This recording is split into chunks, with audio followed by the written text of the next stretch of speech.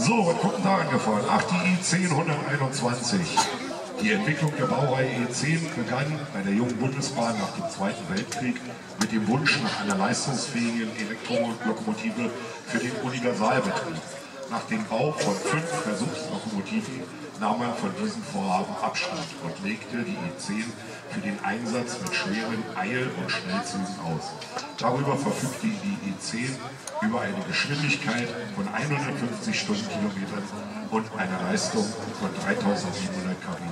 Und auch aerodynamisch wurde die E10 ab der Lokomotive E10 288 durch einen verbesserten Lok Lokomotivkasten optimiert, die viele als Flügelpfeife bekannt sein dürfte.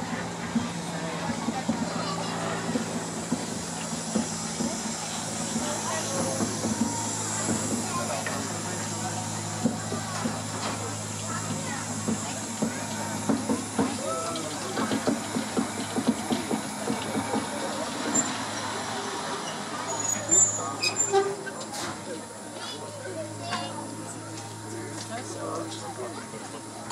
das im Hellen sehen? Das musst